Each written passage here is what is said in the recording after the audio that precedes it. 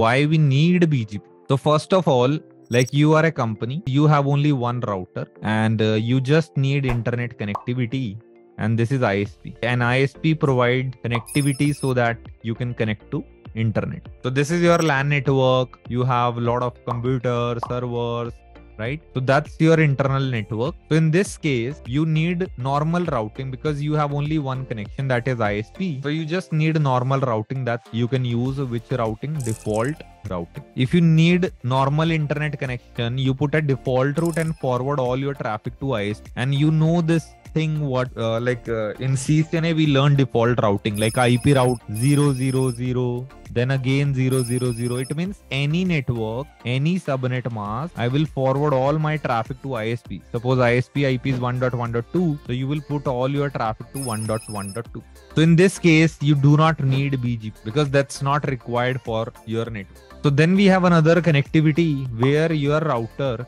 gateway 1 has two connections with same ISP. Okay, both so you have same network like some computer servers, but this time you have two links. This is primary link A, this is primary link B. Okay, you can say this is your 100 Mbps, this is your uh, 50 Mbps, right? Okay, so uh, just you are getting both the connections from one ISP. Okay, so in this case also you can use default routing and you can create the same static default route which is ip route. Okay so suppose we have two ip addresses now 1.1.2 2.1.1.2 so you can say ip route 0000 0000 and then you can say 1.1.1.2 then you can also create another default route which is ip route because you have two links na? So that's why you will put two default routes okay? And but in the second default route if you want to use this as a backup connection then you can put it by default what is the ad value of default route?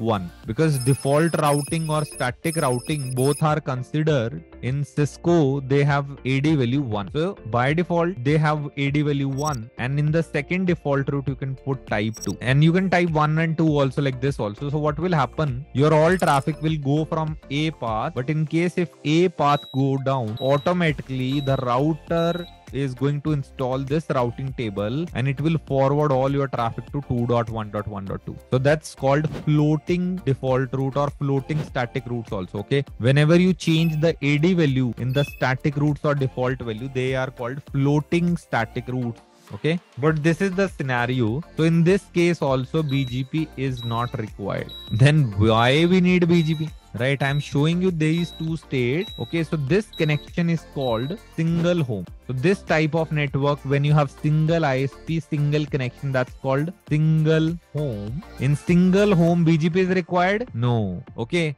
so where in this case we have one isp but two connection that's called dual home dual home. So do you think in dual home we require BGP? No. In these two designs, we do not need BGP. So in another case, the similar design you have gateway, the same type of network. Okay, so this is like server, but this time you have ISP1 and this is ISP2, okay, which is further connected to internet, right? Obviously, you so now in this case when your company gateway has two internet connections and you just put a default route right? Okay. But now the question is do you want to manipulate the traffic does your company want you to send outgoing traffic from this side and you want all your internet traffic will come from this side? Do you have that kind of requirement? Okay. So do you have route manipulation requirement? Do you want to really manipulate the path? You really want that google traffic will go from this side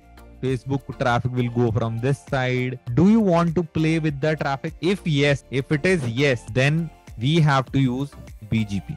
If it is no, then it is no BGP required. So if you want to play with the traffic, okay, I want to send traffic for Google from ISP1, I want to send a traffic to Facebook from ISP2, then it is called route manipulation. If you want to change the traffic according to the company requirement, okay, then BGP is required here. In this case, this is called multi-home because you have two home home means isp okay? Multi home and in multi home we can run bgp okay? But depend according to your company requirement. Because i have seen a lot of real industry networks where they have multi home but they are not running bgp bgp is the only protocol which can manipulate incoming traffic okay? There are a lot of other protocols like ospf and all. They can only change outgoing traffic behavior but bgp can change incoming traffic behavior also. So that's the reason bgp is used because we can change the incoming traffic that how which link you want to use for your incoming traffic. Uh, you want all your